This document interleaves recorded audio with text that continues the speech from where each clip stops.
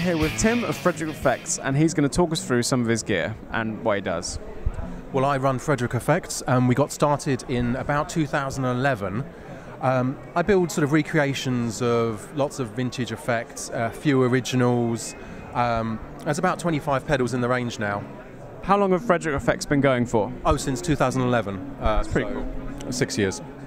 Pretty well. building effects informally just before then, and you know, just building kits and getting started. Could you talk us through uh, a few of your favourites?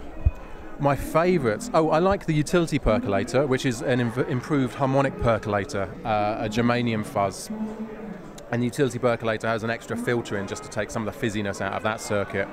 Um, I like the super unpleasant companion because I've always loved the super fuzz, and I, I, I like the enclosure shape, and and then the jackdaw, the cloak audio jackdaw, which was more of an experimental kind of offshoot of that. I love the buffer. That's...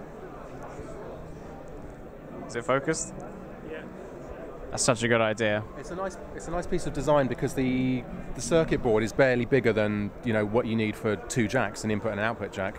So um, yeah, that was that was a good a good move, I think, doing those.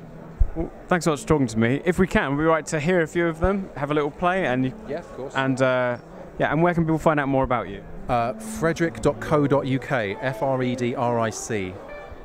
Yeah. Let's have a listen then.